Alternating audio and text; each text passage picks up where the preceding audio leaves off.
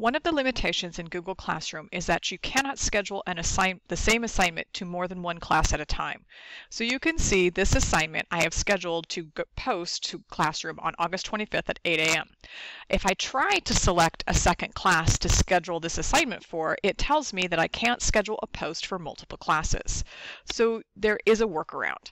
So I'm going to go ahead and uh, close out of this assignment and I'm going to go to the second class that I want the same assignment to be posted to.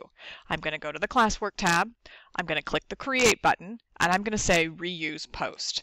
Now I'm going to go find that post that I just did for my first class. Here it is, right here, it says scheduled, and I'm going to reuse that.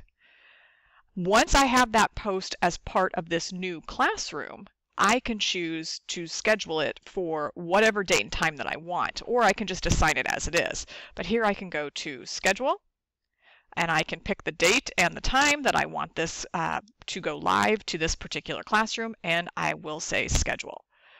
So while you can't schedule an assignment for multiple classes, there is a workaround by using reuse post.